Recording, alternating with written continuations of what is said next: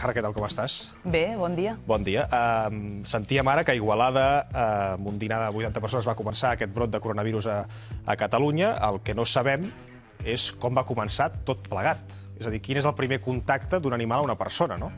Quin és l'inici de Inici. tota aquesta història? El que està clar és que aquest virus no és fruit d'una teoria de la conspiració, com s'ha dit aquests últims dies. No, No ve de la Xina molt. amb una estratègia per combatre les polítiques de Donald Trump, tot això que s'ha dit. No, aquesta setmana la revista Nature ha publicat una recerca molt interessant on descarta tot aquest tipus d'informacions i diu que aquest virus no està dissenyat en cap laboratori per acabar amb tota la humanitat.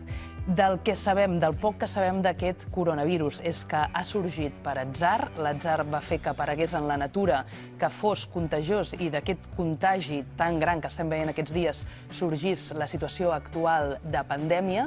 I com dèiem l'altre dia, que parlàvem de malalties infeccioses emergents, això prové d'un salt d'un animal a un humà. El que no sabem és quin és aquest animal on va començar a produir-se tot. S'ha parlat del ratpenat, s'ha parlat del pangolí, el que està clar, i si mirem a la literatura científica, no s'ha documentat mai un salt directe de, ni, de ratpenat a humà, per tant, hi hauria d'haver algun hoste intermedi, per això es parlava del pangolí, per exemple, que hagués fet de cadena de transmissió fins a nosaltres, les persones. Però clar, el pangolí el vam absoldre fa com una o dues setmanes, ara s'assenyala el ratpenat, tot i aquesta manca de contagis anteriors. Per què s'assenyala el ratpenat? Què té el ratpenat que no tinguin altres animals? Els ratpenats pobres sempre estan entre els sospitosos eh, habituals. Però deuen ser per, per lletjos, no? Vull dir, perquè... Sí, tampoc és un animal molt agradable de no, veure, però, ja de per però si. per què això sempre passa, no? El ratpenat sempre sembla que sigui l'animal que ho ha de portar tot, totes les coses dolentes, no? Perquè el ratpenat realment és un eh, portador molt gran de virus. Sí. A més a més, n'hi ha moltíssims. Penseu que un de cada cinc mamífers que hi ha a la Terra són ratpenats. Per tant, feu números i imagineu-vos la gran quantitat de ratpenats que hi ha al món. I, a més a més, estan per tot arreu. Són capaços eh, de viure a molts llocs, menys a l'Antàrtida, que no s'han documentat mai cap. La majoria estan a l'Àsia, però se'n troben a ecosistemes tan diferents com, per exemple, una selva, un desert, una illa, i en concret a les coves, als forats que hi ha als arbres, a les golfes, als soterranis, a tots aquests llocs relacionats no, Clar. amb, amb la foscor... Però si amb són, si són animals que són portadors de virus, no haurien de morir tots per, per estar infectats d'aquest virus? Deus. Aquesta és una gran pregunta que la ciència encara no ha aconseguit resoldre. És una de les grans incògnites de la biologia, però el que es creu, eh, on apunta la, la hipòtesi més eh, acceptada per tothom, és que aquesta gran immunitat que tenen els eh, ratpenats, per això deia Ricard, perquè no moren, no?, si tenen tants virus, doncs estaria relacionat amb la seva capacitat per volar. Penseu que volar és una despesa energètica molt gran. És com si ara nosaltres ens fan córrer una marató. És una despesa energètica bestial. Doncs en aquest procés s'alliberen molts radicals lliures i això en qualsevol altre mamífer generaria una resposta immunitària, un procés d'inflamació per revertir tots aquests radicals lliures de l'organisme. Doncs en el ratpenat això no passaria a causa d'una adaptació evolutiva que estaria lligada a poder volar i, per tant, frenar aquesta resposta immunitària de la qual es beneficiarien els virus. Però tu dius que el, el Covid-19, el coronavirus, va aparèixer per atzar. En algun moment s'ha de fer fort, és a dir, els ratpenats no l'han portat tota la vida a, a sobre. Quan es fa fort el virus? Es fa fort en un ratpenat? És quan passa la persona que aquest virus passa a ser el que coneixem avui en dia? Quan evoluciona aquest virus? Hi ha dues hipòtesis, hi ha dos escenaris. Un és que aquest virus es fes fort a l'animal, no sabem si era el ratpenat, però en principi eh, pensem que sí, o al revés, quan va saltar als humans el virus era amb una versió no patògena, per tant no tenia aquesta capacitat de contagi i va ser amb el pas del temps doncs, que es va, fer, eh, es va fer tan virulent i va agafar aquesta capacitat de crear la pandèmia que estem veient. Saludem el Jordi Serra Cobo, que és investigador de l'Institut de Recerca de la Biodiversitat i expert en coronavirus i també en ratpenats. Jordi Serra, què tal, com estàs? Bon dia. Bon dia. Abans de res, eh, de tots els números que tenim, que coneixem, de l'1 al 99, diguem-ne, qu- quins serien els que, el que ens donen més probabilitat que això vingui d'un ratpenat? A veure, és el 100%. Vull dir que la, els, els coronavirus aquests són originaris de ratpenats. Eh? La, la major part de coronavirus aquests que, que fi, del grup del SARS i així, s'ha demostrat i són virus de ratpenats. Ara, que del ratpenat passi als humans, això és molt difícil. A casa de nostra és, és impossible, a casa nostra. Eh? I en el sud-est asiàtic, home, pot ser, per lo més normal és que hi hagi una espècie intermediària. Ara ens explicava la Núria que són animals que porten molt, molts virus. Hi ha un control eh, de tota la, la quantitat de virus que poden portar eh, els ratpenats que viuen, per exemple, a Catalunya? A veure, eh, nosaltres fa molts anys que estem investigant això i estem fent, però control no n'hi ha. No n'hi ha per moltes, molts motius. Per motius, eh, evidentment, econòmics, perquè això comporta una despesa econòmica molt important, i perquè, a més a més, clar, eh, ara sí que es veu necessitat de mirar-ho, però eh, quan, quan no hi ha problemes, eh, ningú hi pensa que s'han de fer controls preventius. Eh?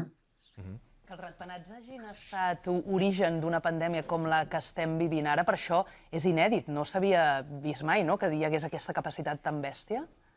A veure, eh, fa temps ja que diferents científics publicats també, amb, o sigui, treballs publicats en revistes molt importants, també al Nature, eh, s'està dient que eh, pot haver-hi una epidèmia, una nova epidèmia de coronavirus. Això fa temps que es diu. Ara, quan i quin coronavirus, això és, era dificilíssim de preveure, dificilíssim.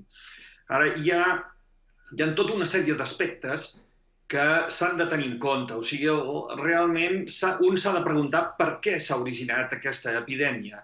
I el per què s'ha originat aquesta epidèmia té molt a veure amb, amb factors ambientals, factors ambientals i factors socioeconòmics.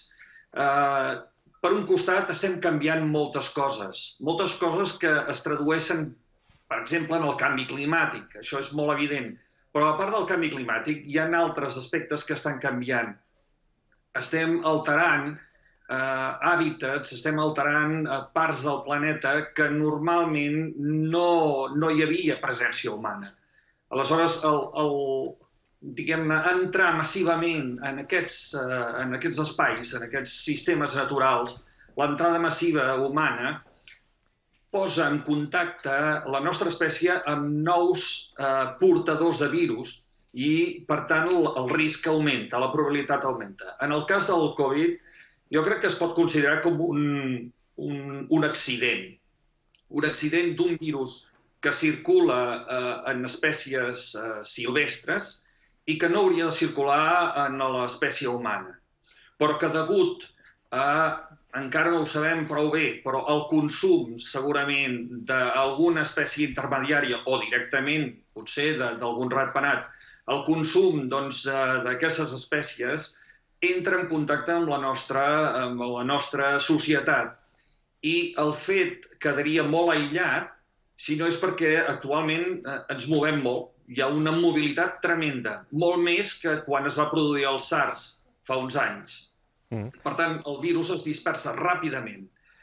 Ara, el que hauríem de tenir en compte és que aquests equilibris eh, eh naturals, aquests equilibris ecològics, que ja han estat durant milers d'anys i que ara alterem, doncs poden provocar, ens poden portar, doncs, o ens poden exposar a, a, jo diria, doncs, a nous eh, virus, no només virus, sinó a nous patògens que eh, molts d'ells ni coneixem. Hi ha zones de risc en el planeta. No, no, clar, tot allò que, que fa temps que, que s'alerta des de molts ambientòlegs i gent especialitzada en contra el canvi climàtic, no? És a dir, a la desforestació, el fet que el nivell de l'aigua del mar eh, creixi perquè hi hagi el de gel a l'Antàrtida, etc. Això el que fa és que hi hagi més virus que potser no hi teníem tant accés, amb els quals hi entrem en contacte, no? Exacte. Penseu que eh, això sembla, eh, els, els models diguem-ne, epidemiològics que estem, que estem eh, construint, que estem elaborant, juntament amb investigadors de la xinesos, propers a la zona de Wuhan, el que ens diuen és que el, el, el virus aquest, la infecció, no s'ha produït en el mercat que probablement el que s'ha produït és fora. I el mercat el que ha fet és d'amplificador perquè hi ha molta gent hi ha molta gent, densitat doncs, eh, de població que van a comprar i estan apretats uns amb els altres, però a més a més hi ha molta humitat ambiental. fet que eh, doncs, facilita encara més la transmissió vírica. O sigui, el, el mercat aquest mm. probablement el que ha fet és d'amplificador dels contagis eh? i que eh, és molt probable que s'hagi originat la primera transmissió fora del mercat. Jordi Serracova, investigador de l'Institut de Recerca de la Biodiversitat, expert en coronavirus i ratpenats. Eh, moltes gràcies per aquesta explicació eh, pedagògica i, en fi, anirem trobant respostes segurament a mesura que vagin passant els dies, que és el que més tranquil·litza en aquests moments també d'incertesa. Gràcies sí per acompanyar-nos. Digues, digues.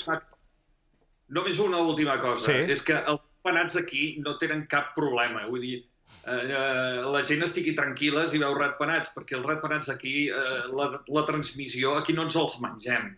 I a part d'això, la, la quantitat de virus que porten és, eh, és molt inferior que el que podem trobar en el sud-est asiàtic.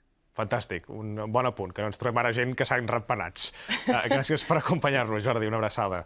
Uh, també dic que és, uh, el ratpenat també té coses bones, que simbolitzen coses positives, no, Núria? Sí, deixa'm afegir amb, amb la línia del que deia el Jordi, no? que els ratpenats, és a dir, ara no es tracta d'eliminar-los directament no, no, del nostre entorn, perquè també tenen coses positives, no? com per exemple que són eh, espècies que controlen molt bé els insectes, mengen molts insectes i per tant això talla les malalties o talla possibles les plagues dels cultius.